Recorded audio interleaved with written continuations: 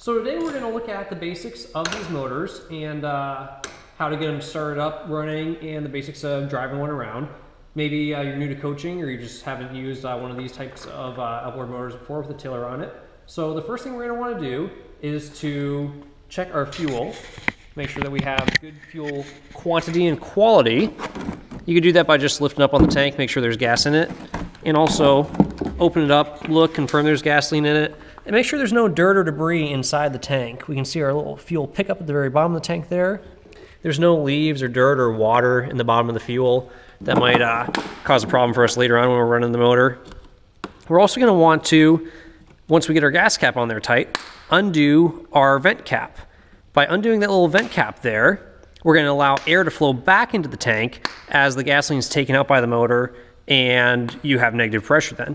Uh, not too common, or not too uncommon rather, to see boats going down the river and the motor stop working because of someone forgetting to open up this vent cap here, air not being allowed to get back in, and you'll see this uh, this gas tank just sucked, just squeezed all the way down from that negative pressure inside there. So open it up, and then at the end of practice, make sure you close it so nothing leaks out. We'll come over here to our fuel connector there. Check it, make sure there's no dirt or debris. That's where our fuel is going to come out from that little brass plunger there. That other little hole there connects to our motor. So we'll look over here, we'll line them up with each other. And it snaps on there. We'll take our primer bulb and we'll give it a couple good squeezes. That just puts a little bit of fuel directly to the motor. And also you can confirm that the arrow on the primer bulb is pointed towards the motor. So uh, fuel is actually flowing that direction, not uh, backflowing towards the tank. Then we'll go ahead and connect our kill switch to us. That's a really important thing to do is make sure you have your kill switch connected so that if you, by chance, are unfortunate enough to come out of the boat, that uh, you not uh, get so far away from the boat where you can't swim back to it or it takes off and hurts someone. So we've got our kill switch connected. We've got our motor in neutral, confirmed it's in neutral there. And we'll go ahead and pull our choke switch on. So just that choke lever, slide it out once. We'll give one little push on the primer bulb, and one big pull. There we go. we've got our red light on here. That red light shows us that the oil pressure warning system is working. Go ahead and put our choke switch off. The motor's running good. Turn this off here. Typically we want to leave the choke switch on for about 15 to 30 seconds on a really cold morning, maybe even longer to let the motor warm up. Then we can turn it off before we use the motor for practice and start going. You do not want to motor down the river, have the motor in gear uh, with the choke switch on. That'll foul up the spark plugs and just gives the motor too much fuel.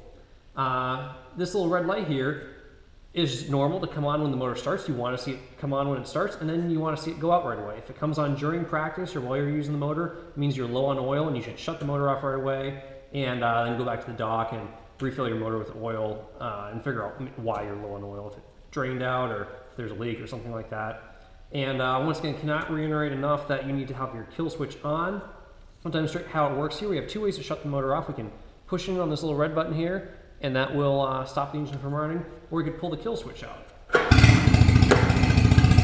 So by just pulling that out, if you were to fall out of the boat, it cuts the motor off so that you can actually swim back to your boat and that your coaching launch doesn't take off and go run over some athletes somewhere. Next thing to look at on this particular motor, some of them have just a throttle and then a lever for, of course, forward, neutral, reverse. This one's a little bit different. We can just push down this little lever here and tilt our tiller down. We have twist for forward and then twist more to go faster. Twist back into neutral twist the other way to go into reverse, and then twist more to go faster in reverse. So be very cautious. You can switch from neutral to forward and reverse very quickly this way, but you can also go into forward and get up to high speed very quickly. So you don't want to uh, accidentally twist too much and throw yourself out of the boat. Also be very cautious about having the motor turned on the boat, having it turned left or right when you're shifting into gear, because that can often uh, kind of tip the boat if you give it too much gas and tip yourself out. As long as you have your kill switch on, the motor will stop. Make sure you have your kill switch on. Another little thing to look at here, some motors are really easy to turn back and forth, some are really hard, and most people don't know it's because of this little lever here. So that little lever there is what controls the steering friction. So it makes it easier to turn or harder to turn in case you had to let go of the uh, throttle there momentarily. Also, likewise, there's a throttle friction. So turning in on here makes it harder to twist the throttle. Undoing that makes it easier to twist the throttle. A few other things to note. If it's a really cold morning and you're trying to get this motor started, you would have to use your choke, give it a little bit extra fuel, and maybe even push on your throttle only button here on the side, push the throttle only button in while twisting this to about quarter to half throttle. If you're not sure where that is, well, you could just twist it all the way to full throttle and then halfway back. Give it a nice big pull, and that'll help give extra fuel and extra air to get the motor started a little quicker. An important thing to note is that when this starts up finally, and you have uh, the motor running at high RPM, you want to bring it back down to neutral or, or to the idle speed as quickly as possible so you don't hurt the motor when you first start up. So we'll see what that sounds like. Bring it back there. Turn our choke off there. And turn the motor off. So that's the basics of it. For some more advanced videos, you can click on the link inside here and look at some other ways. If you have a stubborn motor that's not starting up for you, or if you suspect you have some issues, check out some of our other videos on our Boatman section to repair these motors. If you want to look official, like you know what you're doing, you can uh, pop off the cover here, and how you'll do that is by just coming around the back side of the motor, lifting up on the latch backwards, and then twisting that up so it's free.